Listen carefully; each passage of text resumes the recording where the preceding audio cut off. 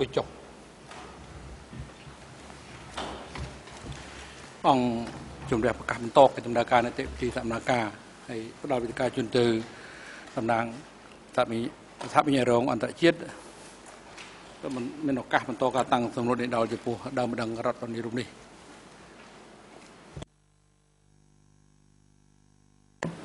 Thank you, Mr. President. តំណាងសហប្រញ្ញាសូមអរគុណលោកប្រធាន លោកដាំនឹងរដ្ឋវេនីមុនយើងសម្រាប់ខ្ញុំបានសួរលោកអំពីអំពីភូមិឫស្សីដង្គត់របស់លោក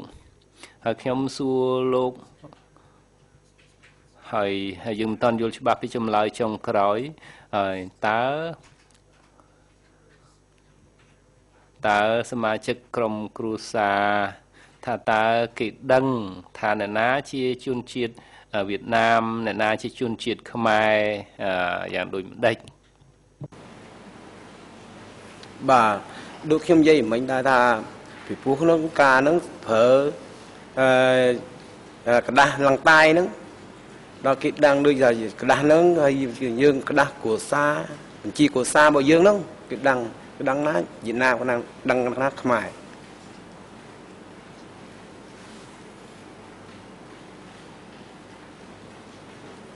I just សាព្រាជ្ញាដើម្បីឲ្យប្រកាសថាខ្ញុំយល់ចម្លើយរបស់លោក គឺថាមានសភៅកត់ត្រា នៅ ក្នុងភូមិរបស់លោក ដែលបញ្ជាក់ថាតើបុគ្គលណាឬក្រុមគ្រួសារណាជាជនជាតិវៀតណាម អ្នកណាជាជនជាតិខ្មែរតើមានសភៅឬក៏ឯកសារក្រដាស់គេកត់ត្រាអញ្ចឹងមែនឬទេបាទមាន កាលហ្នឹងមានដល់កាលហ្នឹងគេដុតផ្ទះដុត អីអស់ហើយអស់មានទេឥឡូវខ្ញុំអត់មានទេខ្លួនហ្នឹងមានតែខ្លួនតែទេខ្វះឲ្យតែមួយផ្លេហ្នឹងមានន័យថាយកតាមខ្លួនទៀត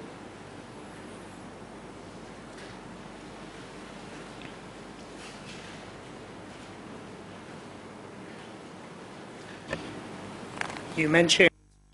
សំណួរលោកបានបញ្ជាក់ថាពាក្យលោកប្រើពាក្យលន្តាយដែលលោករៀបរាប់ថា ជាសភៅកត់ត្រាឬក៏ជាសភៅកត់ត្រាគ្រួសារដែលបញ្ជាក់ថា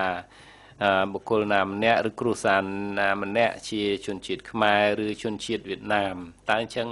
ឬទេ លោកដាំដឹងរដ្ឋវេនីពីព្រោះខ្ញុំនិយាយហើយថាការហ្នឹងវាចេះទៅដូចជាឡងតែនេះគេដឹងវៀតណាមគេធ្វើឡងតែហើយបើខ្មែរគេអត់ធ្វើឡងតែទេគេបានអញ្ចឹងបានថាគេដឹងវៀតណាមគេដឹងខ្មែរ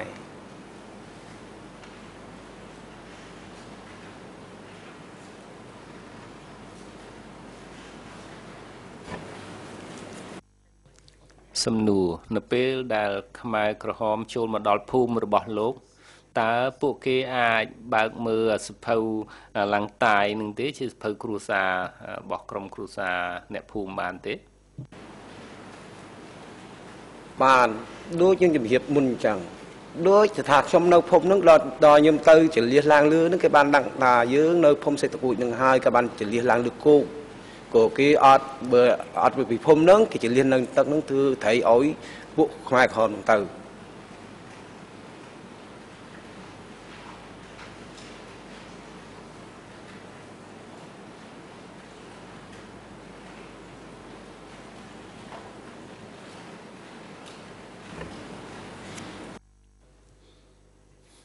សំណួរ តើខ្មែរក្រហមបានបញ្ជាក់ប្រាប់ប្រជាជនដូចជាលោកនៅក្នុងភូមិដែលរទេថាអឺអ្នកណាជាជនជាតិវៀតណាម អ្នកណាជាខ្មែរតើគេបាននិយាយចឹងដែរឬទេបាទបាទគេមាននិយាយចឹងដែរគេនិយាយថាខ្មែរក៏ធ្វើពលកម្មដូចជាវៀតណាមយួនអាហ្នឹងហៅយួនហ្នឹងមិនវៀតណាមយួននឹងដែរដូចគ្នាប៉ុន្តែគេបញ្ជីកុសានខុសគ្នា កាលណាវៀតណាមហ្នឹងគឺគេនិយាយប្រើឡងតាយកាលណាខ្មែរនឹងប្រើផ្សេងអញ្ចឹងដើម្បីវាខុសគ្នាទៅនឹង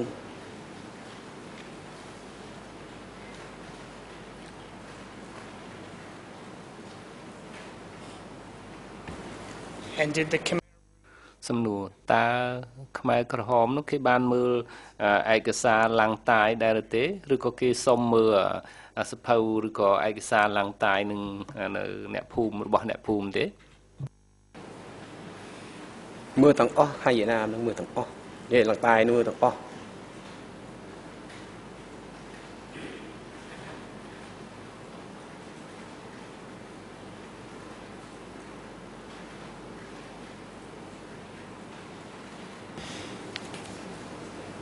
When you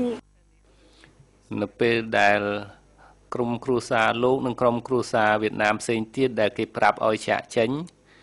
តើលោកដឹងដែរឬទេតើខ្មែរក្រហមគេបានប្រើបញ្ជីឈ្មោះជនជាតិវៀតណាមឬក៏ក្រុមគ្រួសារវៀតណាមដែរទេមេធាវីកូពេខ្ញុំសូមជំទាស់ចេញមើល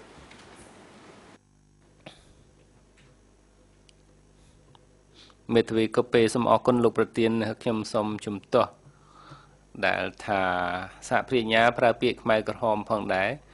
ដែលថាមេធាវីដើមនឹងរដ្ឋវិនីគាត់បានប្រើតុលាការអនុញ្ញាតប៉ុន្តែ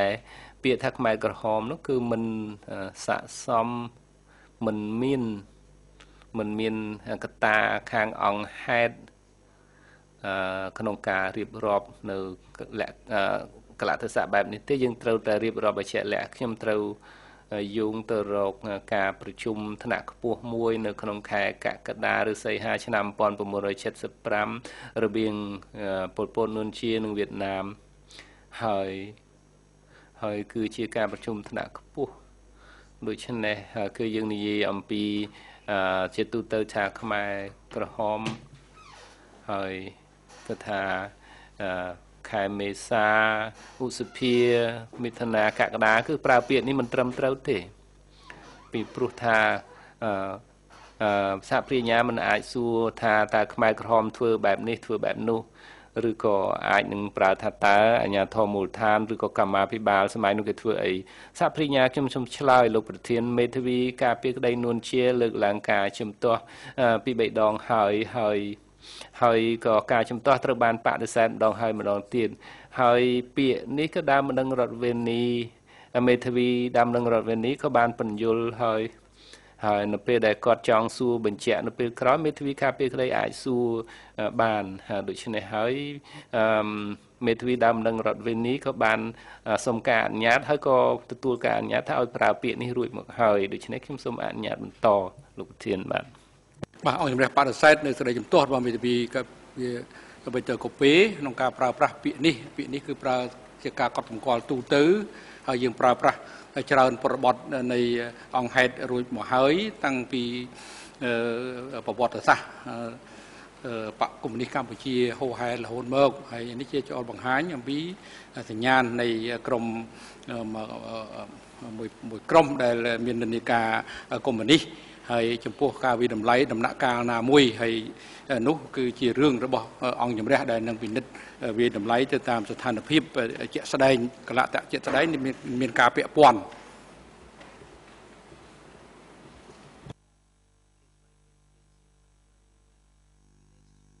លោកអាចតទំនួលរបស់លោកបាន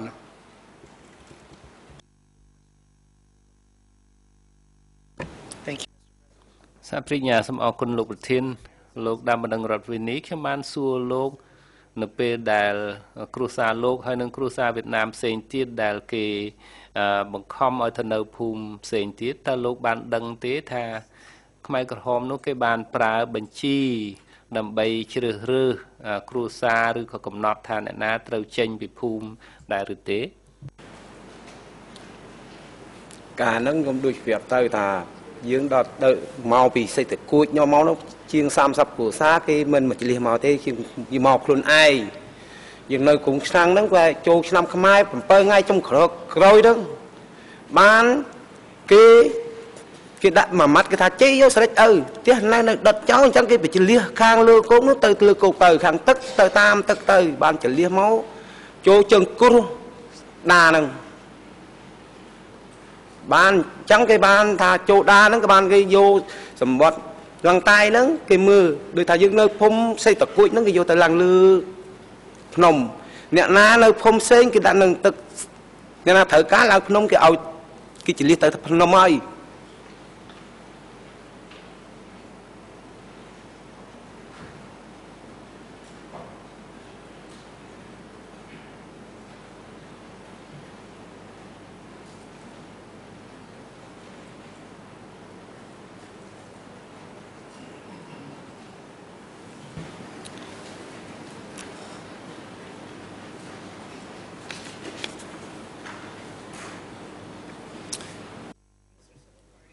សំណួរ លោកដើមដឹងរដ្ឋប្រវេណីមុនថ្ងៃដែលលោករៀបរាប់អំពីការចាប់សមាជិកក្រុមគ្រួសាររបស់លោក ហើយគេចាប់គ្រួសារមួយទៀតនៅក្នុងភូមិហើយគេបានយកអ្នកទាំងនោះទៅសម្លាប់តើលោកដឹងថាមានគេចាប់ក្រុមគ្រួសារវៀតណាមផ្សេងទៀតទេ នៅក្នុងភូមិដែលលោករស់នៅដែលថានៅលើភ្នំនោះ អមរងរំនេះខ្ញុំអត់តន់ឆ្លើយតបសូមជួយលោកមេធាវីវិទ្យាកូពេមេធាវីកូពេខ្ញុំជំទាស់សំណួរនេះ លោកប្រធានតំណងជាផ្ដល់នៅហេតុការដើម្បីឲ្យដើមមនឹងរដ្ឋវេនីថាវាកើតចឹងមែនថាមានការចាប់ខ្លួនដោយហេតុថាគ្រួសារនឹងជាគ្រួសារវៀតណាម ឬឯគ្រួសារផ្សេងផ្សេងទៀតដែលថាអ្នកផ្សេងទៀតដែលគេត្រូវការគេចាប់នឹងគឺថាវាអឺបាទអញ្ចឹងគឺថាមិនមែនថាអ្នកដែលត្រូវគេចាប់ទាំងអស់សុទ្ធតែជាវៀតណាមទាំងអស់ទេការសួរបែបនេះធ្វើឲ្យដើមនឹងរដ្ឋវិនីយល់បែបនេះអញ្ចឹងគឺថាសំណួរ ត្រូវតែសួរពីហេតុការព្រឹត្តិហេតុថាថាវាកើតឡើង ដោយហេតុថាអ្នកទាំងអស់នោះគឺអ្នកនោះគឺអាចនឹងជាជនជាតិវៀតណាមប៉ុន្តែដើមនឹងរដ្ឋវិនីខ្លួនឯងបញ្ជាក់ខ្លួនឯងនៅក្នុងពាក្យសុំថាអំពីបញ្ជាក់ពីមូលហេតុថាក្រុមគ្រួសាររបស់គាត់ត្រូវគេចាប់ដោយមូលហេតុនឹងសព្វប្រាជ្ញាខ្ញុំសូមឆ្លើយតបទៅនឹងមេធាវីការពីក្តីហើយយើងខ្ញុំផ្ញើសួរសំណួរដោយមានលក្ខណៈព្យាក្រឹត ដោយមិនបញ្ជាក់ថាគេចាប់នឹងសិតតែវៀតណាមទេប៉ុន្តែគាត់ជំទាស់ផ្អែកលើការបកស្រាយផ្ទាល់របស់គាត់ខ្ញុំសួរទៅខ្ញុំមិនបានបញ្ជាក់ថាអ្នកគេចាប់លើភ្នំនោះសិតតែជនជាតិវៀតណាមនោះទេខ្ញុំសួរថាបកគលហើយនឹងក្រុមគ្រួសារដែលត្រូវគេចាប់នឹងគឺថានេះជាសំណួរដែលមានលក្ខណៈជាអព្យាក្រឹតទេ បើសិនបើមេធាវីការពារក្តីលួនជាគាត់ចង់សួរសំណួរអ្វីដែលថាដោយតែគាត់លើកឡើងអានឹងចាំដល់ពេលវេនគាត់គាត់អាចធ្វើបានលោកធានបាទអង្គចម្រើនអង្គជំរះបដិសេធដែលខ្ញុំទាស់របស់លោកមេធាវីវិជ្ជាកូពីនឹងបញ្ហាដែលនៃការតាំងសំណួរចុងក្រោយរបស់តាបរិញ្ញារងអន្តរជាតិចំពោះដើមម្ដងរដ្ឋបរិរូបនេះអមៃមីនេះបញ្ហាទី2យើងសូមរំលឹកភាគីពាក់ព័ន្ធថា មិនក៏បីបង្រៀនភាគីម្ខាងទៀតឲ្យទៅតែរៀនមកតាំងសំណួរនៅក្នុងសកម្មភាពនេះទេពួកភាគីពាក់ព័ន្ធនេះចំណងជាមានបទពិសោធន៍និងចេះដឹងអំពីរបៀបនៃការតាំងសំណួរដេញដោលនៅក្នុងតឡាការយូរហើយទើបដាក់ពាក្យសុំអធិការនៅទីនេះ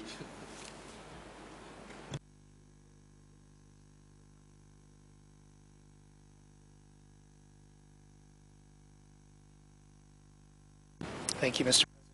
សាព្រិញ្ញាសូមអរគុណលោកប្រធាន លោកដាំដឹងរដ្ឋវិនីខ្ញុំបានសួរលោកថាមុនពេលថ្ងៃដែលខ្លួនលោកហើយនឹងគ្រួសារវៀតណាមផ្សេងទៀតដែលគេបានចាប់ហើយយកទៅសម្លាប់តើលោកដឹងថាមានការចាប់ខ្លួនមនុស្សផ្សេងទៀតទេ នៅភ្នំនោះដែលថាគេចាប់ខ្លួនតើអ្នកនឹងជាជនជាតិអ្វីជនជាតិវៀតណាមឬក៏មិនមែន បាទខ្ញុំដឹងថាគ្រួសារខ្ញុំជាមួយគ្រួសារតែមួយនឹង4នាក់នឹងទេប៉ុន្តែថាខ្ញុំចុងក្រោយមកស្លាប់អីទៀតខ្ញុំអត់ដឹងទេប៉ុន្តែថាខ្ញុំកាលហ្នឹងវាយចូលដៅរួចខ្ញុំពងកខ្ញុំហើយខ្ញុំទៅពុននៅព្រៃពុនទៅផ្ទះទូកតលីនឹងហើយខ្ញុំអត់ហ៊ានចាញ់មុខទៅក្រៅទៀតទេមិនដឹងអីរឿងរាវទៅមុខទៀតខ្ញុំដឹងតែប៉ុណ្្នឹងទេ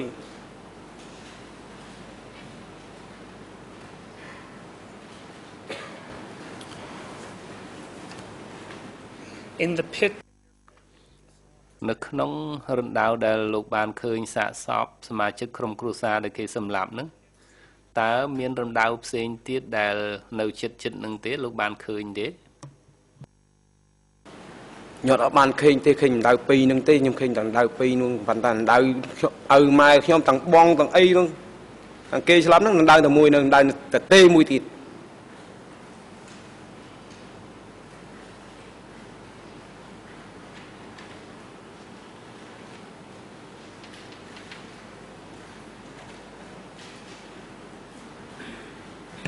Thank you Mr. សហប្រញ្ញាសូមអរគុណលោកដាមដឹងរដ្ឋវិនីខ្ញុំមានសំណួរពី3ទៀតទេចង់សួរលោកយ៉ាងហោចណាស់ពាក់ព័ន្ធទៅនឹងនៅពេលដែលលោកធ្វើដំណើរទៅវៀតណាមដោយជិះតាមសាឡាងនោះកណូតនោះនៅពេលដែលលោកចេញដំណើរដំបូងតាមអឺអឺទូករបស់តាលីនោះហើយលោកបានធ្វើដំណើរតម្រង់មកភ្នំពេញកាលហ្នឹង តើលោកបានឃើញទូកផ្សេងផ្សេង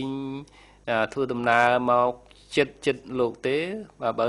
ក្នុងករណីមានថាតើលោកឃើញទូកប្រមាណដែលមកចិត្តចិត្តជាមួយលោកដែរហ្នឹងអាចចាំបានទេ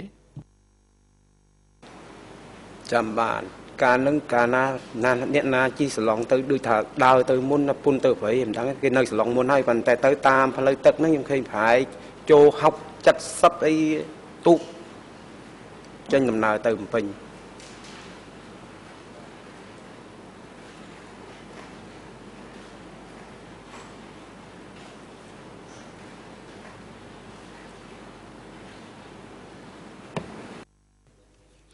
សំណួរតើលោកបានអាមានឱកាសសង្កេតមើលឬក៏មើលឃើញ មនុស្សដែលជិះនៅលើទូកផ្សេងផ្សេងទូកនោះទេនៅដែលថាទូកដែលគេធ្វើដំណើរចិត្តចិត្តលោកលោកបានសង្កេតឃើញមនុស្សនៅលើនឹងទេបាទខ្ញុំឃើញវាចែកអែបគ្នាហ្នឹងចែកឲ្យការហ្នឹងអត់ចែកឆ្ងាយគ្នាចែកអែបគ្នាដូចជាមួយវងហ្មងមានងាប់ងាប់អស់មួយវងទៅចែកចែកអែបគ្នាហ្នឹងអត់មានចែកឆ្ងាយណាទៅមុនណាទៅក្រោយចែកមួយវងទៅហ្មង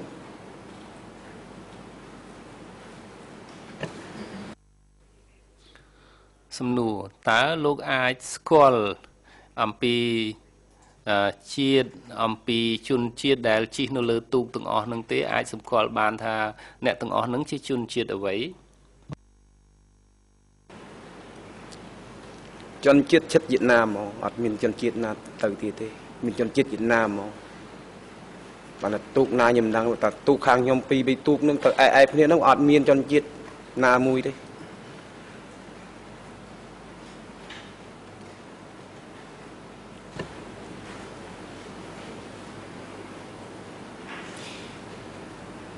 When you boarded នៅពេលដែលលោកឡើងជិះទៅសាឡាងដែលលោកបានរៀបរាប់បាទជិះសាឡង់នៅអឺទន្លេចតុមុខនៅមុខវាំងនោះតើមានសាឡង់តែមួយនឹងទេដែលប្រជាជនឡើងជិះអឺរួមគ្នាឬក៏ថាមានសាឡាងអឺផ្សេងទៀតដែរដើម្បីធ្វើដំណើរអឺឆ្ពោះទៅខាងវៀតណាមនោះ ការខ្ញុំឃើញឃើញតែមួយទេប៉ុន្តែលើសឡងហ្នឹងគេនៅមនុស្សនៅនឹងប្រហែល50 60នាក់ហើយបានលេងឡើងទៅហ្នឹងខ្ញុំឡើងហ្នឹងតលីនគាត់គាត់និយាយមួយម៉ាត់មួយខ្ញុំគាត់ថាកុំហើយនៅជីទូកអញខ្លាយខ្លាយណាគេសែកទៀតគេស្លាប់អញចោលហើយហើយឡើងសឡងហ្នឹងទៅបានខ្ញុំឡើងខ្ញុំបាច់មួយគាត់ទៅតែប៉ុណ្្នឹងទេខ្ញុំឃើញតែសឡងតែមួយហ្នឹង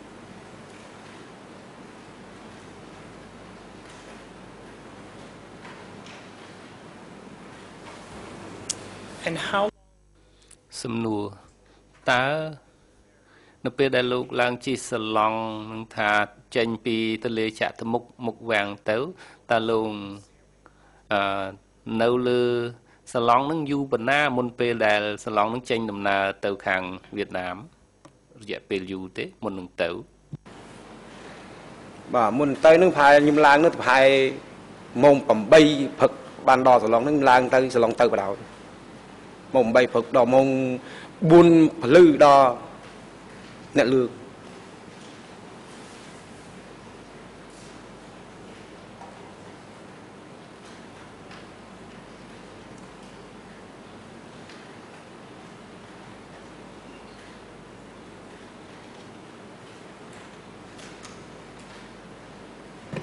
thank you very much សហព្រាញ្ញាសូមអរគុណច្រើនលោកអឺដើមនឹងរដ្ឋវេនីលោកប្រធានខ្ញុំអរគុណហើយខ្ញុំបញ្ចប់ការតាំងសំណួររបស់ខ្ញុំបាទប៉ុន្តែជាចក្រមមានសំណួរសូមជ័យលោកស្រីលោកស្រីចក្រមអពិន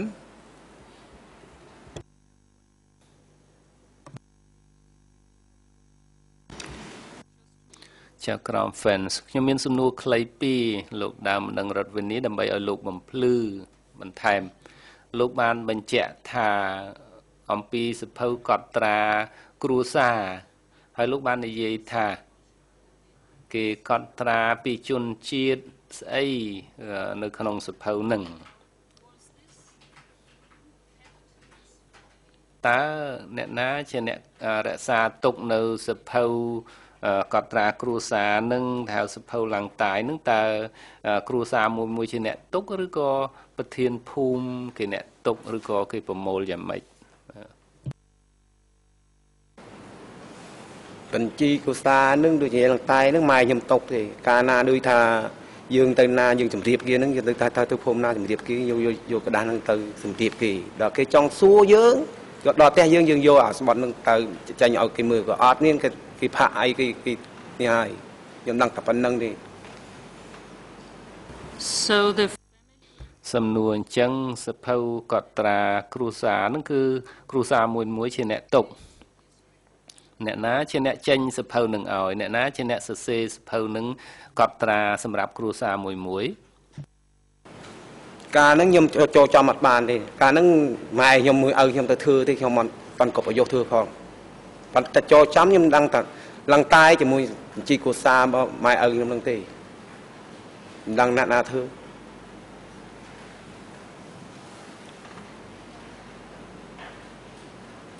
but just to បាទប៉ុន្តែដើម្បីឲ្យច្បាស់មិនមែនថាសមាជិកគ្រួសារឬជាអ្នកសរសេរខ្លួនឯងទេ គឺអញ្ញាធរគេអ្នកចេញសភៅនឹងឲ្យអញ្ចឹងមែនឬទេ លោកសាអឺលោកដើមដឹងបាទ just in case ក្នុងករណីដែលដឹងតើលោកបានដឹងទេថាតើមាន មានអឺការិយាល័យឬក៏មានកន្លែងមួយនៅថ្នាក់នៅភូមិដែលថាគេកត់ត្រាបញ្ជីរួមធំមួយ ដែលថានៅក្នុងភូមិនឹងមានក្រុមគ្រួសារប្រមាណជនជាតិអីអីក្រៅពីសភៅម្នាក់ម្នាក់នៅក្នុងអឺគ្រួសារមួយមួយគេមានបញ្ជីរួមគេនៅ នៅភូមិទេលោកដឹងទេបាទខ្ញុំអត់ដឹងទេកាលហ្នឹងខ្ញុំអត់ដឹងទេ thank you ចាក្រុម fan សូមអរគុណអរគុណលោកស្រីជាក្រុមទីបន្តទៅនេះអញ្ញវះផ្ដល់វិការជូនទៅក្រុមសហមេធាវីការពីក្តីដើម្បីមានឱកាសសួរនេះដល់ចំពោះដើមម្ដងរដ្ឋបព្វនីរូបនេះហើយដំបូងនេះអញ្ញវះផ្ដល់វិការជូនទៅក្រុមសហមេធាវីការពីក្តីលោកនួនជាសូមអញ្ជើញ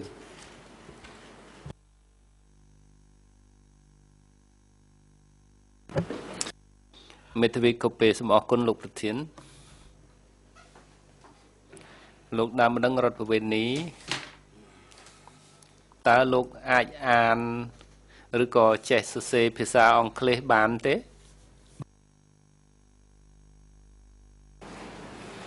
កាលហ្នឹងខ្ញុំនៅទូចហ្នឹងបានអត់បានទៅរៀនទេសសរវៀតណាមក៏បានរៀនចេះផងសសរខ្មែរក៏បានរៀនផងគាត់ទៅរៀនមកអត់តាន់បានមកមួយខែផងចន្លាស់ដូរទៅហើយបានរៀនអីចេះដល់សម័យនេះខ្ញុំគ្រាន់ដល់មែនតែនគ្រាន់ហើយ ផ្ទះមិនមាននៅផងតែមានអីទៅរៀនចេះសរសរនឹងគេរកអង្គស៊ីមិនបានផងនោះ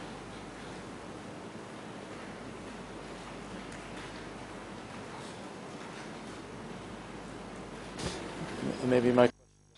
មេធាវីកូពេផាលជាខ្ញុំសួរទៅលោកមិនច្បាស់លោកដើមដឹងរដ្ឋវេននេះតើលោក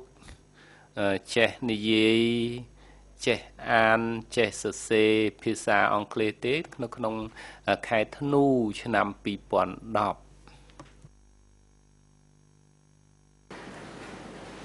ខ្ញុំអត់ចេះសរសរទេអត់ចេះកត់ទេ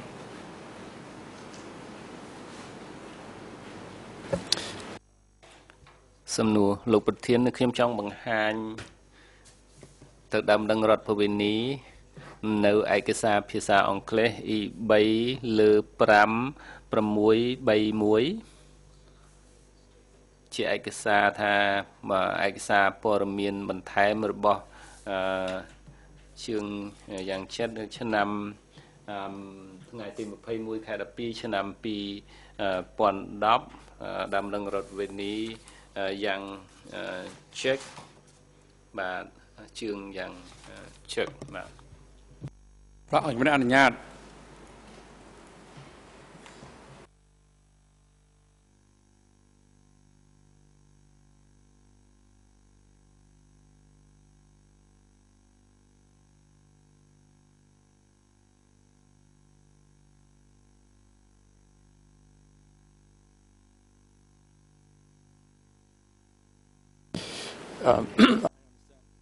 មេធាវីខ្ញុំយល់លោកដើមនឹងរដ្ឋវេនីលោកមិនអាចអឺចេះអានចេះសរសេរប៉ុន្តែនៅខាងក្រោមអឺទំព័រនេះឯកសារនេះលោកអាចឃើញអឺស្នាមផ្ដិតមេដៃហើយនៅខាងក្រោមហ្នឹងគេដាក់ឈ្មោះលោកថាជឿនយ៉ាងជ្រិតគឺថានៅថ្ងៃទី1ខែធ្នូឆ្នាំ2010តើលោកនៅចាំទេថាលោកបានផ្ដិតមេដៃលើឯកសារភាសាអង់គ្លេស ជាឯកសារព័ត៌មានបន្ថែម បាទនៅថ្ងៃទី21ខែ12ឆ្នាំ2010ដូចខ្ញុំនិយាយមិញខ្ញុំរៀបរាប់រហូតអស់ហើយខ្ញុំចេះថាឆ្នាំបោះវៀតណាមទេខ្ញុំក៏និយាយអញ្ចឹងដែរបើខ្មែរក៏ខ្ញុំមិនចេះហៅយ៉ាងម៉េចដែរហើយខាងបារាំងក៏ខ្ញុំយ៉ាងយ៉ាងម៉េចដែរខ្ញុំនិយាយរឿងខាងវៀតណាមទេ លោកលោកដើមរងរំនេះស្ដាប់សំណួរឲ្យបានណាខ្ញុំឆ្លើយតបសំណួរហ្នឹងគឺលោកបានឃើញกระดาษក្នុងហើយហើយមេធាវីសួរថាតើលោកចាំទេ ថាលោកបានផ្តិតមេដៃស្នាមមេដៃលើឯកសារដែលលោកកំពុងកាន់នោះដែរឬទេលោកចងចាំដែរឬទេ កាលពីឆ្នាំ2010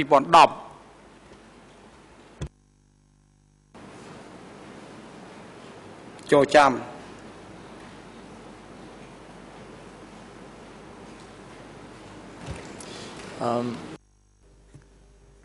មេធាវីកូពេតើលោកចាំថាលោកបានផ្តិតមេដៃលើឯកសារនោះទេ ពីព្រោះលោកបានយល់ស្របលើខ្លឹមសារនៃឯកសារនោះអញ្ចឹងសួរថាតើឯកសារគេបានអានឲ្យលោកស្ដាប់ជាភាសាខ្មែរឬជាភាសាវៀតណាម ស្ដាប់លោកយល់ហើយបានផ្តិតមេដៃទេពេលនោះបាទ អានខ្មែរឲ្យខ្ញុំស្ដាប់ទេ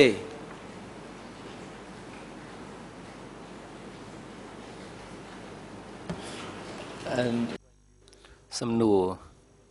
នៅពេលដែលគេអានចប់ឲ្យលោកស្ដាប់ ជាភាសាខ្មែរបកប្រែពីភាសាអង់គ្លេសលើឯកសារនេះតើអឺ គេសួរថាលោកយល់ស្របលើខ្លឹមសារលោកយល់ស្របលើខ្លឹមសារនឹងហើយហើយលោកក៏ព្រមផ្តិតមេដៃលើឯកសារនឹងតើបានធ្វើអញ្ចឹងដែរឬទេបាទខ្ញុំព្រមហើយ Um,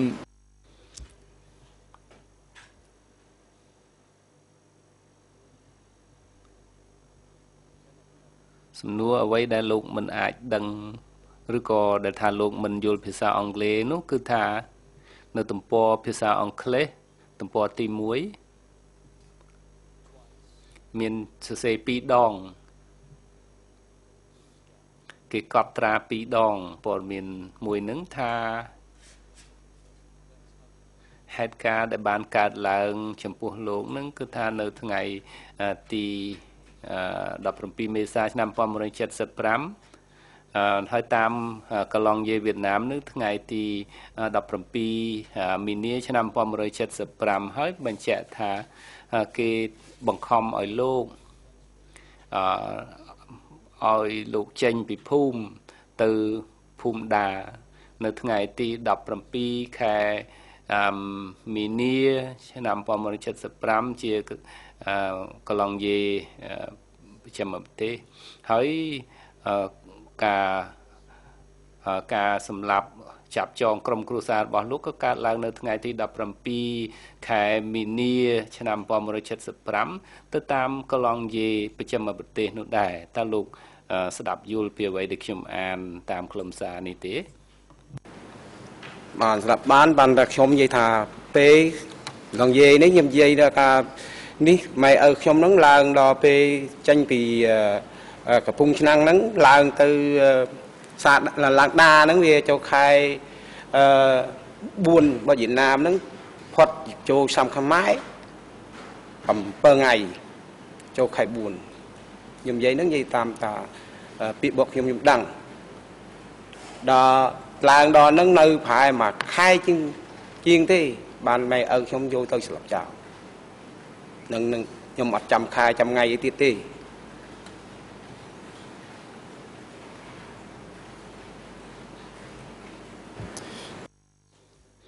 សសំណួរអញ្ចឹងជាចម្លើយ ជាសក្ខីកម្មរបស់លោកអ្វីដែលសរសេរលើឯកសារ E3 លើ5631ហ្នឹងមិនត្រឹមត្រូវទេពីព្រោះថាគេមិនបានបញ្ជូនលោកចេញពីភូមិនៅថ្ងៃទី17ខែ3ឆ្នាំ1975ហើយក្រុមគ្រួសាររបស់លោកក៏មិនត្រូវបាន គេសម្លាប់នៅថ្ងៃទី17ខែ3 ឆ្នាំ75នោះទេគឺឯកសារនេះគាត់មិនត្រឹមត្រូវតាមអ្វីដែលលោកចាំទេ មានន័យអញ្ចឹងឬទេអត់សារមុនខ្ញុំមិនដឹងទេបានថាថាឆ្នាំខ្ញុំនឹងចាំថ្ងៃឆ្នាំខ្ញុំដូចថាខ្ញុំកាលហ្នឹងខ្ញុំល្វិញហើយខ្ញុំថាខ្ញុំល្វិញកាលណាខ្ញុំខ្ញុំចាំកន្លែងណាខ្ញុំប្រាប់កន្លែងហ្នឹងបើខែថ្ងៃហ្នឹងខ្ញុំចូលចាំមិនបានទេខ្ញុំឡើងល្វិញអស់ហើយពីព្រោះខ្ញុំដឹងឆ្នាំហ្នឹងខែតែមួយខែពីរខែខ្ញុំដឹងថានិយាយថ្ងៃអីហ្នឹងខ្ញុំអត់ដឹងទេ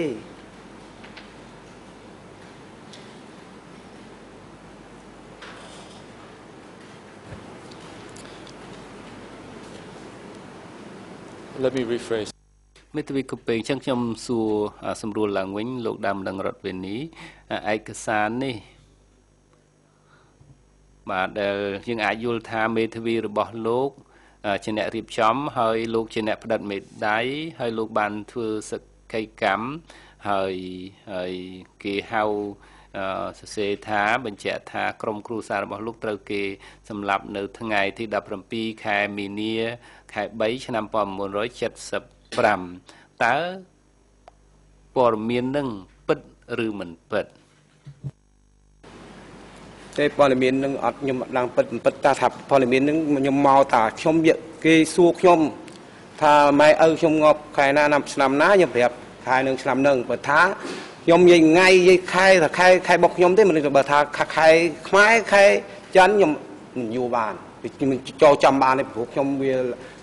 មានសរសៃខ្លះ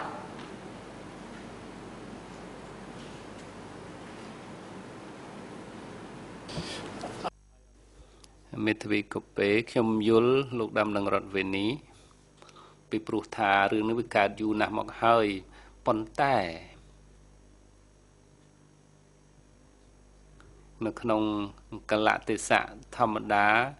គឺថាវិភាពខុសគ្នា មួយខែមុនឬមួយខែក្រោយហើយជាចំណុចបច្ចេកទេសហើយខ្ញុំមិនចង់រំខានទេប៉ុន្តែខ្ញុំចង់ដឹងឲ្យច្បាស់ថាតើហេតុការណ៍នឹងវាកើតឡើងនៅក្នុងខែណាអញ្ចឹងលោកមិនច្បាស់ថាកាលបរិឆេទដែលមានការអាងថាក្រុមគ្រួសាររបស់លោកត្រូវបានគេសម្លាប់នឹងលោកទំនងជាច្រឡំឬក៏មិនចាំច្បាស់ទៅវិញរងអន្តរជាតិ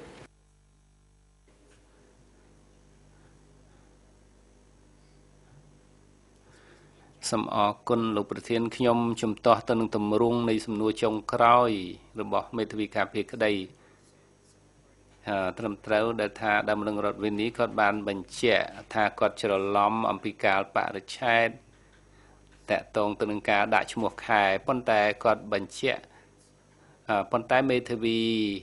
អឺទទូចសុំឲ្យកាលបរិច្ឆេទ ដែលនិយាយពីការសម្លាប់នឹងគឺនៅក្នុងខែ1អញ្ចឹងគឺថាសុំ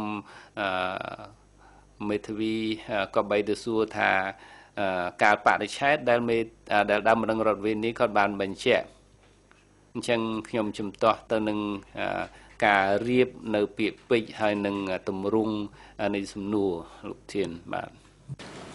I I was trying មេធាវីក៏ពេលខ្ញុំព្យាយាមរកវិធីសួរលោកប្រធានដើម្បីឲ្យដើមម្ដងរដ្ឋវិនីគាត់យល់ពីការបច្ឆេទនឹងថាប្រកាសយ៉ាងដូចម្ដេចគឺអឺលោកលោកស្រីឆៅក្រមដឹងហើយថាអ្វីដែលគាត់បញ្ជាក់ចំពោះមុខតឡាការនេះពីរឿងការបរិឆេទអំពីប្រតិទិនហ្នឹងគឺថាមានការផន់ច្រឡំតិចប៉ុន្តែខ្ញុំខ្ញុំមក តទល់នឹងគាត់អំពីឯកសារដែលគាត់ផ្តិតមេដៃចំពោះមុខមេធាវីរបស់គាត់ហើយដែលបញ្ជាក់ពីរដងថានៅថ្ងៃទី17ខែមីនាឆ្នាំ1977 75បន្តមកក្រោយមកគឺថាដើមនឹងរដ្ឋវិនីគាត់ថាគាត់ច្រឡំអំពីកាលបរិច្ឆេទដោយគាត់បញ្ជាក់ថាទៅក្រោយពីចូលឆ្នាំខ្មែរនោះគឺថាអឺ បញ្ជាក់អញ្ចឹងគឺថាថ្ងៃទី17ខែមីនានៅនឹងគាត់ត្រានៅលើឯកសារនេះជាឯកសារផុសតាងមួយរឿងមុំដោយដែលលោកលោកស្រីចៅក្រមជ្រាបហើយគឺថា បាទវាអាចជាឯកថាឯកផុសតាងដែលដោះបន្ទុកសម្រាប់ Je crois que cette question a déjà été ខ្ញុំគិតថាអឺសំណួរនេះត្រូវបានឆ្លើយរួចមកហើយលោកប្រធានមុនពេលជប់សម្រាប់ហ្នឹង គាត់និយាយថា មានភាពមិនច្បាស់លាស់នៅក្នុងឯកសារ3/5631យើងគិតថាវាត្រឹមត្រូវហើយហើយដើមមនរដ្ឋប្រវេណនេះក៏គាត់បានពន្យល់អំពីចំណុចតម្រៃរបស់គាត់ផ្ទាល់ដើម្បីបញ្យល់ថានៅពេលណាដែលគ្រួសាររបស់គាត់ត្រូវបានសម្លាប់គឺមុនមួយខែមុនពេលចូលឆ្នាំ ដូច្នេះខ្ញុំគិតថាគាត់ត្រឡប់មកសួរសំណួរដែលបានសម្រេចរួចមកហើយមុនពេលជប់សម្រាប់នោះដូច្នេះសូមមេធាវីការពារក្តីបន្តទៅទៀតពីព្រោះថាសំណួរដែលលោកសួរនេះគឺថាជាសំណួរច្រំដែល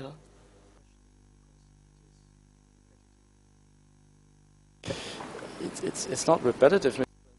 លោកប្រធានមិនជាសំណួរច្រំដែលទេជាវិធីដែលខ្ញុំសួរគឺថាឯកសារនេះជាឯកសារត្រឹមត្រូវដែលមេធាវីដើមនឹងរដ្ឋវិនីជាអ្នកចងក្រង ហើយអឺបាទនឹងផ្ទៀងផ្ទាត់គ្នាតែអ្វីដែលគាត់និយាយក្នុងតឡាការហ្នឹងគឺត្រឹមត្រូវតែណាមួយគឺថាវាមិនអាចត្រឹមត្រូវទាំងពីរទេសម្ដីរបស់សាកសីហើយនឹងអ្វីដែលជាឯកសារនោះមិនអនុញ្ញាតឲ្យការជំទាស់ហើយម្ដងហើយម្ដងទៀតទេតែមេធាវីនាំមុខ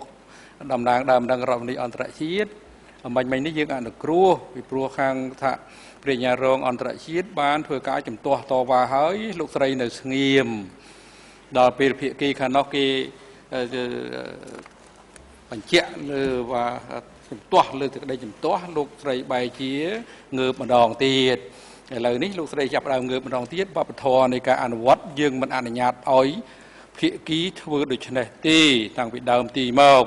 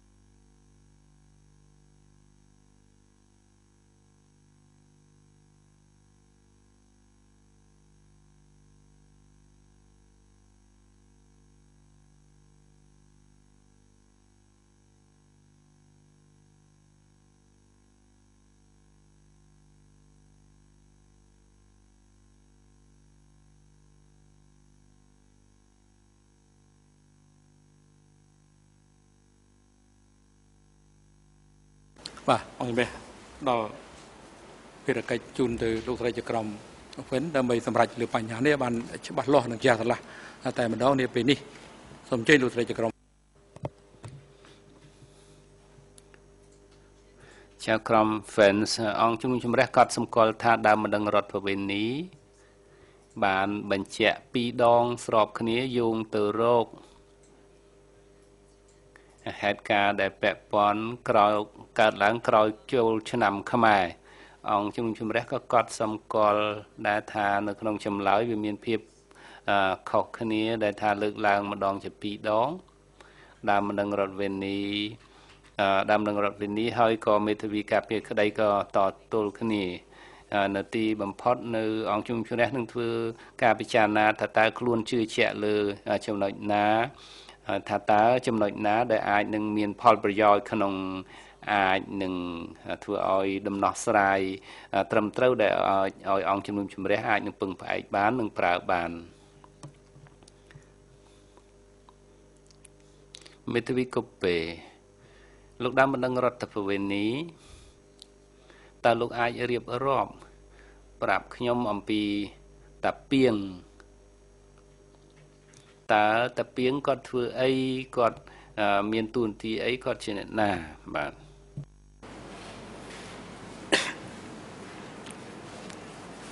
តាពីងនឹងខ្មែរក្រហមមកមេខ្មែរក្រហមមកនៅភូមិដាហ្នឹងហ្មងនៅស្រុកកំពង់លេងហ្នឹង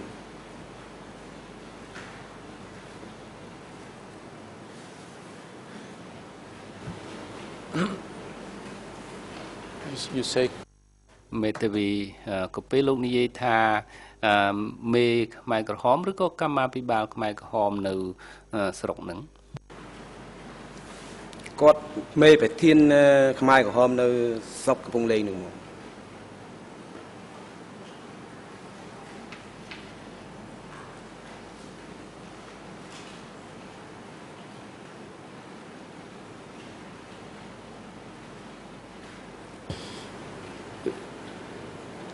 how do you know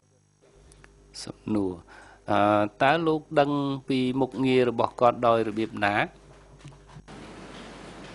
ប្រជាជនក៏ហៅគាត់ថាមេខ្មែរក្រហមហ្មងខ្ញុំដឹងតែប៉ុណ្្នឹង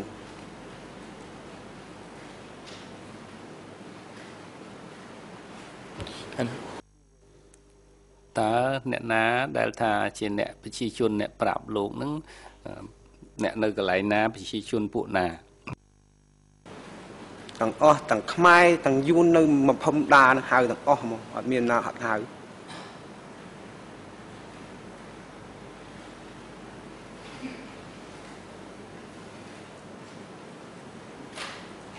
do you know សំណួរតើលោកដឹងថាគាត់ជាសមាជិកនៃបកកុម្មុយនីសកម្ពុជាទេកាន់នឹងខ្ញុំអត់ដឹងទេដឹងក៏ហៅគាត់តែខ្មែរក្រហមហ្មងមេមកខ្មែរក្រហមហ្មង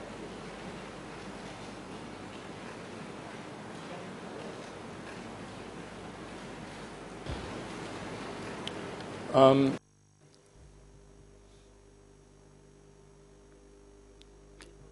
សំណួរតើត្រឹមត្រូវឬទេថាលោកទៅតែបានដឹងតែពីងអឺមប្រហែលជាមួយខែឬពីរខែតែប៉ុណ្្នឹងទេអឺខ្ញុំសុំសួរថ្មីឡើងវិញតើរយៈពេលប៉ុណ្ណា ដែលលោកបានជួបតែពីង តើលោកបានឃើញជួបគាត់នៅភូមិនឹងរយៈពេលប៉ុណ្ណាអាចជាមួយអាទិត្យឬក៏មួយខែពីរខែតើរយៈពេលប៉ុណ្ណាដែលលោកជួបគាត់ឃើញគាត់ហើយស្គាល់គាត់ថាតាពីងនឹងក៏គាត់តាការខ្ញុំគាត់ចលះខ្ញុំទៅអឺឡើងឡើងដានំកែបហ្នឹងគាត់មកគាត់ថារៀបឲ្យពួកខ្ញុំនឹងធ្វើរូងនៅតាមហ្នឹងអាហ្នឹង គាត់ជាមេគាត់ប្រាប់អញ្ចឹងគាត់បានចូលទូកមកគាត់បាន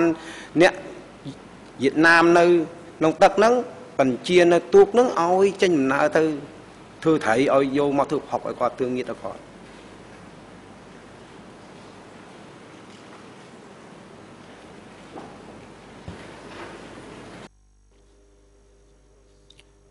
អញ្ចឹងគឺថាពាក់ព័ន្ធនឹងការដែលគេជំលះលោកហើយ ពាក់ព័ន្ធទៅនឹងការសម្លាប់សមាជិកក្រុមគ្រួសារតើអឺមានការគាត់នឹងមានការពាក់ព័ន្ធទាំងឲ្យប្រជាជនវៀតណាមជិះទូកទៅអីដែរឬទេគាត់ឲ្យប្រជាជនវៀតណាមនៅក្នុងទឹកហ្នឹងទៅជីទូកខាងមកចាញ់តលេហ្នឹងរោត្រីរោអីទៅផុកឲ្យគាត់អ្នកណាលើលើគោគាត់បញ្ជាដូចថាធ្វើរូងនៅហ្នឹងព្រលឹមឡើងគាត់អាកាំងយកទៅចិត្ត គូឈើដាំដលងមី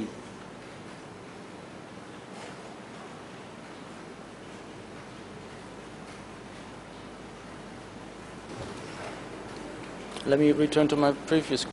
បាទខ្ញុំសូមចូលទៅសំណួរមុនរបស់ខ្ញុំបើខ្ញុំយល់មិនច្រឡំទេគាត់ចូលរួមពាក់ព័ន្ធនៅក្នុងការធ្វើសេចក្តីសម្រេច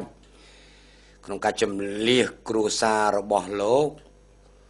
ហើយក្រោយមកគឺថាគាត់ត្រូវបានទទួលរងការចោទប្រកាន់ថាបានសម្លាប់ក្រុមគ្រួសាររបស់លោកហើយក្រោយមកទៀតគឺគាត់ចូលរួមពាក់ព័ន្ធនៅក្នុងការធ្វើសេចក្តីសម្រេចបញ្ជូនក្រុមគ្រួសារអឺបញ្ជូនលោកឲ្យជិះទូកទៅវៀតណាមលោកកំពុងតែនិយាយថាអញ្ចឹងហ៎ជីទូទៅវៀតណាមអត់គាត់បញ្ជីទេគាត់កាលហ្នឹងគាត់ដូរតាណាបាត់ហើយការសម្លាប់ម៉ែឪខ្ញុំហ្នឹងគាត់នៅហ្នឹង អញ្ចឹងដើម្បីយួរថាគាត់នៅហ្នឹងថាផាំងមួយខែវាខែតែប៉ុណ្្នឹងឯងតែការដល់ខ្ញុំជឿចាប់ដល់គេហ្នឹងខ្ញុំអត់ដឹងគាត់នៅណាពីព្រោះខ្ញុំពុននៅព្រៃនៅទូកគេនោះហ៊ានទៅណាភូមិគេដឹងគាត់នៅក្នុង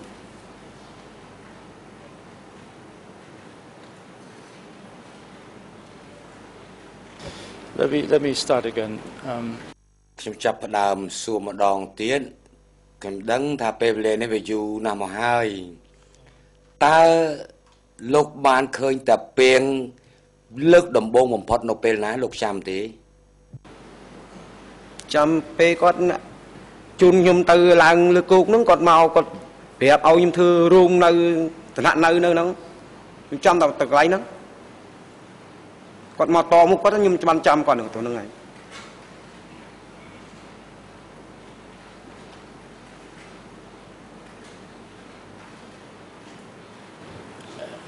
and do you remember when that was? លោកចាំពេលវេលានេះពេលហ្នឹងគឺពេលណាដែរតើវាក្រោយថ្ងៃ17 1975ក្រោយពេលចូលបុណ្យចូលឆ្នាំខ្មែរឬក៏មុនបុណ្យចូលឆ្នាំខ្មែរលោកឯងសួរខ្ញុំរឿងខែហ្នឹងវាយ៉ាប់យាយហើយខ្ញុំនិយាយយ៉ាប់យាយពីក្រោយចូលឆ្នាំខ្មែរខ្ញុំប្រាប់ថាក្រោយចូលឆ្នាំខ្មែរយើងបានឡើងលើគោកហ្នឹង ចូលឆ្នាំខ្មែរ7ថ្ងៃនៅកំពង់ឆ្នាំងបានចលះខ្ញុំចូលដាហ្នឹង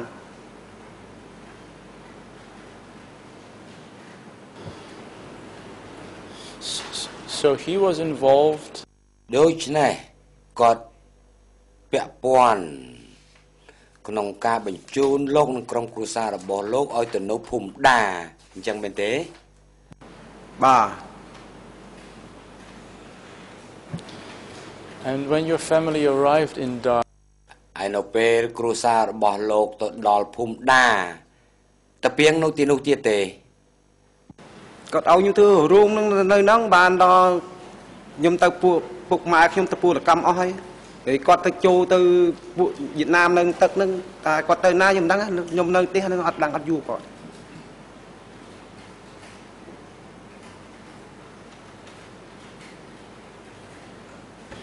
uh, you, you said he told me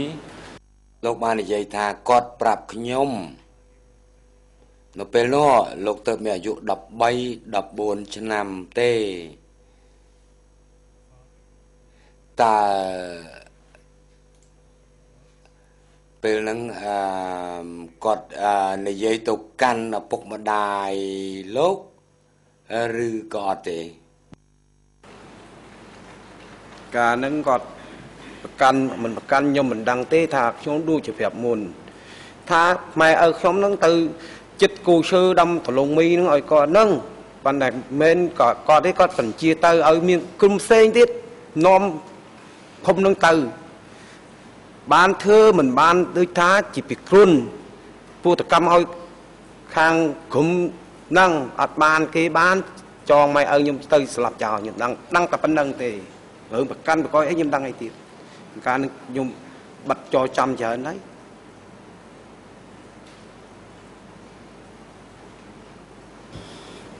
oh, we'll, we'll take it um, very slowly uh, Mr. Civil Part បាទលោកដំណឹងរដ្ឋបវិនីមិនអីទេមួយមួយតាពីងគាត់ដែរពាក់ព័ន្ធនៅក្នុងការបង្កប់ឲ្យគ្រួសាររបស់លោកក៏ដូចគ្រួសារដទៃទៀតឡើងទៅនៅភូមិដា ហើយទៅដល់ភូមិដាគាត់ក៏នៅទីនោះទៀតអឺហើយពេលទៅដល់ភូមិដាគាត់នៅនៅទីនោះដែរតើត្រឹមត្រូវទេខ្ញុំនិយាយឲ្យលោកយួរបន្តិចពីពួកខ្ញុំដឹងគាត់ថាជូនខ្ញុំនៅហ្នឹងធ្វើផ្ទះហ្នឹងធ្វើរូងនៅនៅទៅហើយគាត់ទៅណាទៅណីខ្ញុំអត់ដឹងទេបាទមុនហ្នឹងបើមើលមុខគាត់បានតែធ្វើរូងនៅទេគាត់នាំទៅធ្វើរូងទេបើថា ពីណាលឺឈ្មោះគាត់ហ្នឹងញ័រដៃញ័រជើងអស់ហើយងាប់ខ្លួនបាត់ហើយទៅលឺឈ្មោះតាពីង going back to his function what, what និយាយអំពីតួនាទីមុខងាររបស់គាត់លោកហៅគាត់ថាជាមេខ្មែរក្រហមកម្មាភិបាលខ្មែរក្រហមវាជាពាក្យមួយទូទៅទៅហើយប៉ុន្តែការងារ មុខងារតួនាទីពិតប្រាកដរបស់គាត់ធ្វើអ្វីដែរលោកដឹងទេអត់អត់ខ្ញុំអត់ដឹង Was he maybe the village chief of Phnom តើអាចថាគាត់ជាប្រធានភូមិអឺប្រធានភូមិភ្នំកង្កែបឬក៏មិនមែនទេលោកដឹងទេរឿងនឹងខ្ញុំអត់ដឹង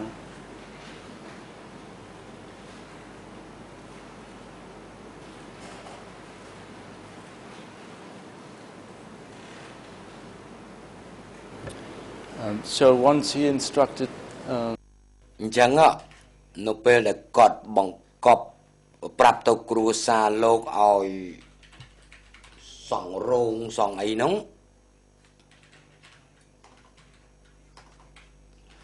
លោកនៅចាំទេថានៅពេលគាត់បង្កប់ឲ្យសង់រោងហើយក្រោយមកជំលះប្រជាជនរហូតដល់ពេលសម្លាប់ ឪពុកម្ដាយរបស់លោកចន្លោះពេលគាត់ប្រាប់ឲ្យសង់រោងទៅដល់ពេលសម្លាប់ឪពុកម្ដាយលោកហ្នឹងមានរយៈពេលប៉ុន្មានពីគ្នាមួយខែជាងប៉ុន្តែថ្ងៃធ្វើរោងនឹងមានគាត់ទៅប្រាប់តែមួយថ្ងៃនឹងទេតែដល់ថ្ងៃក្រោយខ្ញុំអត់មានជួបមុខទូអីគាត់ទេទេមួយខែក្រក្រោយមកបានម៉ែឪខ្ញុំនឹងបានយកទៅໄວចោលតាំងខ្ញុំមក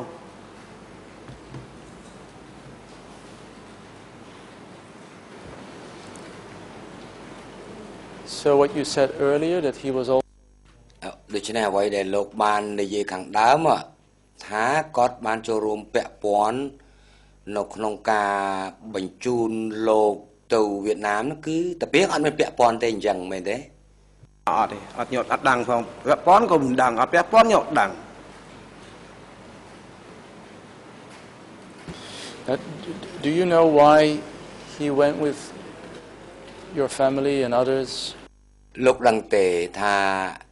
ហេតុល្មិចបានជាគាត់រួមដំណើរជាមួយគ្រួសាររបស់លោកក៏ដូចជាអ្នកភូមិ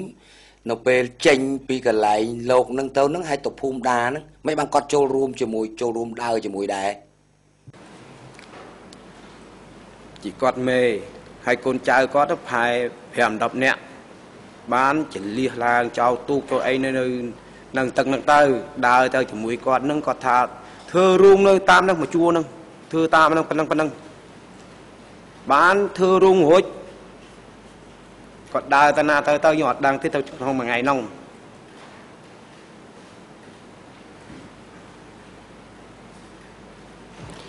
now do you know what happened between the mo- តើលោកដឹងទេ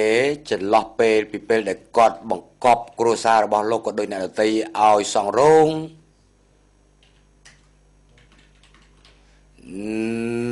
នឹងពេលដល់ពេលសម្រាប់ឪពុកម្ដាយរបស់លោកពីព្រោះថាមុននោះគឺមិនមាន បញ្ហាអ្វីទេ រវាង គ្រួសារលោកនិងគាត់រហូតទៅដល់ភូមិដាក៏មិនមានបញ្ហាអ្វីដែរ ប៉ុន្តែមួយខែក្រោយមកហាក់បីដូចជាមានបញ្ហាអ្វីមួយតើលោកដឹងទេចន្លោះពេលហ្នឹងមានអ្វីកើតឡើងទៀតដូចខ្ញុំជម្រាបមិញដែរធ្វើមកក្នុងមួយខែហ្នឹងមានកម្លាំងពុរកម្មបបរតគុណហ្នឹងព្រលឹមឡើងវាយកកែងហើយដឹងស៊ីមួយចានបបរទៅបានចាញ់ដំណើរទៅធ្វើឲ្យគាត់ពេលថ្ងៃមួយចានតគុណទៀតហើយ ពេលល្ងាចមួយចានតគុណទៀតហើយ មានកម្លាំងណាស់ធ្វើអញ្ចឹងដើម្បីគុណដៅគុណតិចអញ្ចឹងដើម្បីហ្នឹងខុសតែមួយថ្ងៃទេថ្ងៃក្រោយកម្លាំងមកហើយកម្លាំងមកចងយកទៅស្នើទៅទេមិនឈឹមចងស្នើទៅប្រជុំតែប៉ុណ្្នឹងតែតែដឹងតែបាត់ខ្លួនហើយ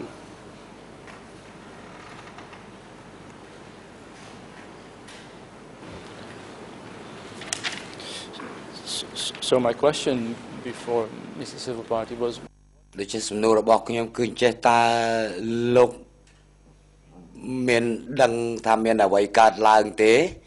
គិតពេលដែលគាត់ប្រាប់ឲ្យក្រុមគ្រួសាររបស់លោកនិងអ្នកភូមិទៅសង់រោងហាមហើយនឹងមកខរយមកទៀតគឺដល់ពេលសម្រាប់ពុកម្ដាយរបស់គាត់ចន្លោះពេលហ្នឹងឯងលោកដឹងមានអ្វីកើតឡើងដែរទេបើលោកដឹងឆ្លើយទៅដឹងមិនដឹងក៏អត់ទៅ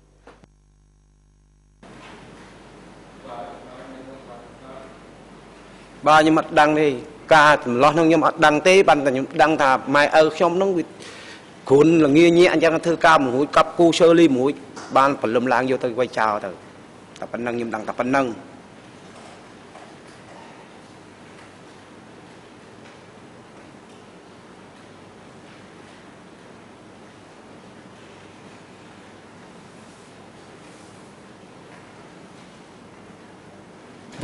was the occupation of your father?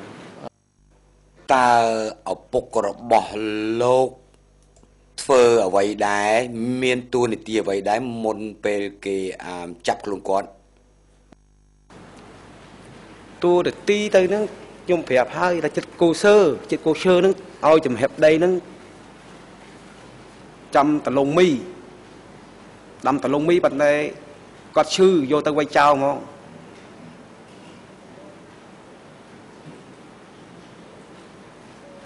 Maybe my question wasn't clear. ដែលជាសំណួរខ្ញុំមិនច្បាស់ទេមើលទៅតើគាត់ធ្វើអ្វីដែរមានតួនាទីអ្វីដែរមុនពេលខ្មែរក្រហមឡើងកាន់កាប់អំណាចតើគាត់អាចថាជាទាហានរបស់របបលន់នល់ដែរទេឬក៏គាត់ជាទាហានវៀតណាមខាងត្បូង ឬក៏ក៏មិនធ្វើអ្វីទេបាទអញ្ចឹងសួរម្ដងទៀតថាតើគាត់មានទួនាទីឬធ្វើអ្វីដែរមុនពេលគេចម្លៀសគាត់ចេញនោះបាទម៉ែឪខ្ញុំកើតលើស្រុកសៃតគួចនឹងហើយបានកើតលើក្បាលចេញក្បាលខ្ញុំចេញសៃតគួចនឹងដែរប៉ុន្តែគាត់អត់មានធ្វើស្អីទៅខុសអីទេបានគាត់រហូតផ្សាតរហូតត្រីដាក់ម៉ោងវាជាទួយតែប៉ុណ្្នឹងទេ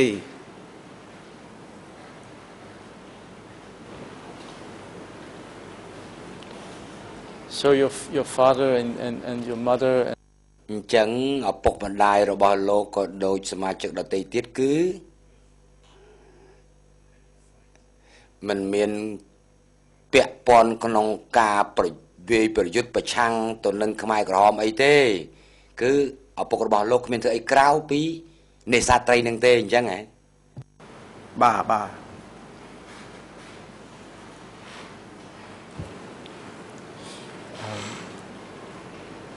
and while Taping um, knew who your family was, ហើយនៅពេលដែលតាពីងក៏ដឹងថាគ្រួសាររបស់លោកសមាជិកគ្រួសាររបស់លោកជាជាអ្នកណាទៅ ហើយគឺថាក្រោយមកមួយខែក្រោយពេលជំលះតាពីងក៏សម្រេចចាប់ខ្លួនគ្រួសាររបស់លោកប្រហែលជាលោកមិនដឹងដល់ខ្លួនឯងទេប៉ុន្តែតើលោកមានឮបានឮពីអ្នកដតីថាមូលហេតុអីបានជាគេចាប់ខ្លួនយកទៅសម្លាប់ចោលហ្នឹងទេ ខ្ញុំជម្រាបហើយជម្រាបទៀតហើយដូចខ្ញុំនិយាយមិញដែរថាឡើងដល់ហ្នឹងឲ្យឲ្យខ្ញុំម៉ែខ្ញុំបងខ្ញុំហ្នឹងទៅចិត្តគូឈើហ្នឹងដាំតលងមីដាំតលងមីហ្នឹងគាត់ឈឺគាត់ចិត្តមិនរួចទេគាត់លីបមិនរួចទេអញ្ចឹងដើម្បីថាមួយថ្ងៃហ្នឹងថ្ងៃក្រោយយកស្នើហើយស្នើទៅហើយ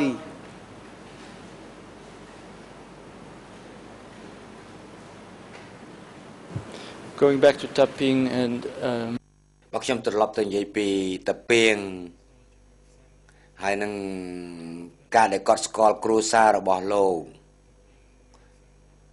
លោកអាចជម្រាបជូនតុលាការបានទេតាពីងតាពីងស្គាល់គ្រួសាររបស់លោកអស់រយៈពេលប្រហែលដែរប្រហែលខែប្រហែលឆ្នាំអឺមុនពេលគេយកគ្រួសាររបស់លោកទៅសម្រាប់ចោលនោះបាទអានឹងខ្ញុំអត់អត់យល់ខ្ញុំដឹងទេអត់ ដឹងស្គមស្គខ្ញុំអត់ដឹងទេតែអានឹងខ្ញុំអត់ដឹង